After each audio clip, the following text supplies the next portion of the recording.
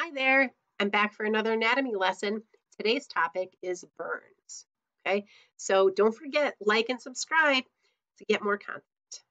Okay. Also, comment if you have suggestions or ideas on what I should cover next. So let's get started. Full disclosure, some of the images in this lesson may be a little bit difficult to look at. So similar to the wounds lesson, some of this is a little hard. So just be prepared.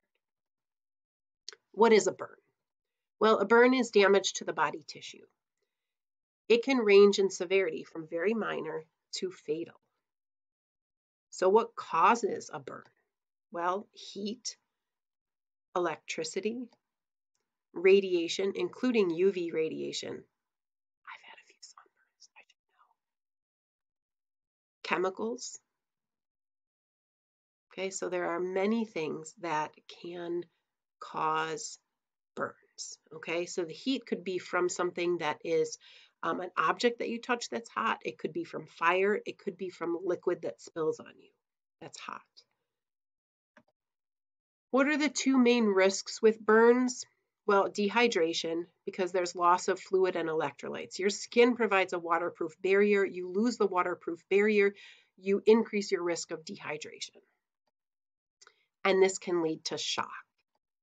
The second main risk is infection. So again, you lose the skin barrier and there is more of a chance that something that could cause infection can get inside your body. Okay. The next major topic about burns is the rule of nines. And the rule of nines is used to estimate the percent of skin burn. Why do we even need to do that? Well, it helps to calculate the amount of fluid that is needed um, to replace um, what was lost. It's a little bit different in children. You can see the percentage is um, higher um, in the head area, okay, and it is lower in legs. Okay. All right, so let's practice. So this is one way that you could do it. I'm going to kind of go through these quickly. An adult trips and falls into a fire and burns the anterior left arm. Remember, anterior, front surface. The left anterior face and the left anterior thigh. So what percent of the body is burned? Okay, so you would calculate it like this. The anterior arm, the left anterior face, and the thigh. A child in a house fire and suffers great damage. The only parts of the body unaffected are the posterior torso and.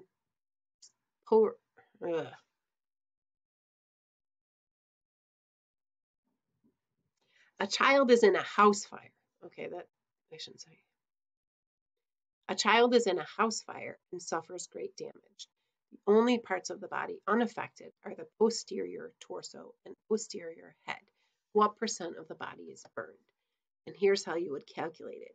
Both arms, both legs, the genitals, the anterior head, and the anterior torso. So that is a huge percentage of the body.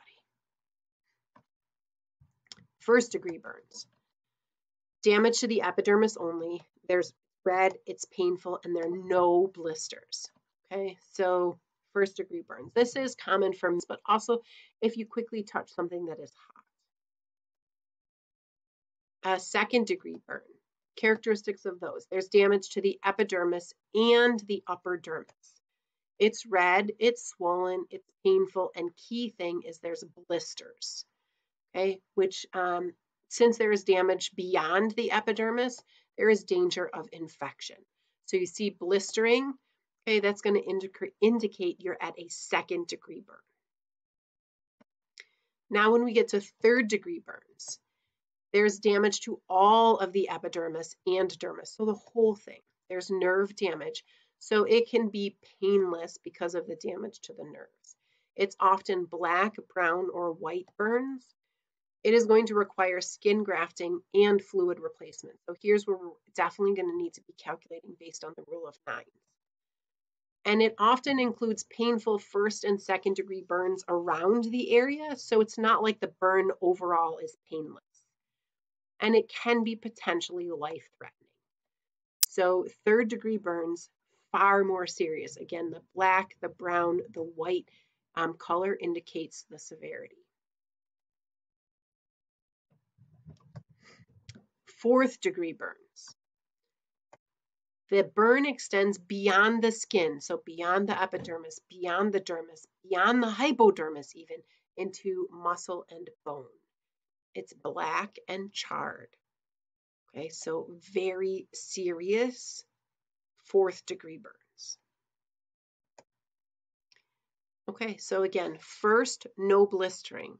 Second, you see blisters. Third, we can be black, brown, or white. It extends into the dermis. And fourth is usually um, charred appearance and it goes beyond all the layers of the skin into muscle and bone. Skin grafts. Well, what is it? It's a surgical procedure. It removes skin from one area of the body and moves it to a completely different area. All right.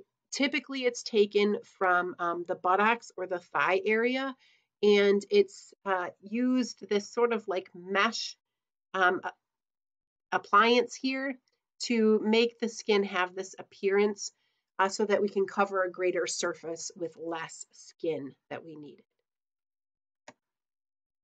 And there you have it. That's all about burns. Well, not everything, but everything that I'm going to tell you. So don't forget, like and subscribe, comments for any content you'd love for me to cover. All right, see you next time.